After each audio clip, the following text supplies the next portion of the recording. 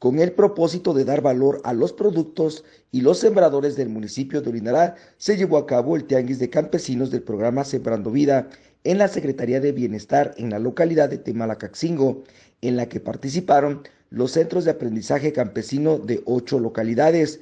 En el Tianguis del Campesino se ofrecieron los productos como chile, jamaica, semilla, maíz, cacahuate, curados y comida tradicional de Tlahuanca, Cabe señalar que los mejores productos fueron preparados para participar en el concurso de Producto Estrella, donde fueron premiados los primeros lugares. La primera vez que venimos del CAE Esperanza y Vida de la comunidad de Zacango.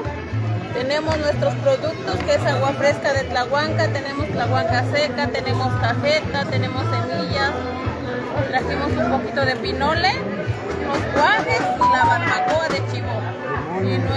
árboles de tlahuanco, coguayote, guaje, limones.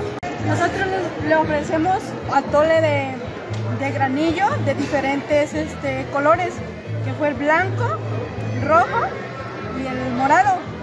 Y también le estamos ofreciendo pinole, pinole de maíz de color y unas ricas mazorcas dulces.